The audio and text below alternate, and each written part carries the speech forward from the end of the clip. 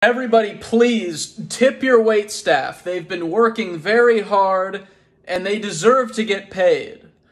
Not by us, but by someone else. What's all this complaining about wages? You can make $40 with a 20 hour shift. We want to do something fun for you guys, so tomorrow it's bring your kid to work day.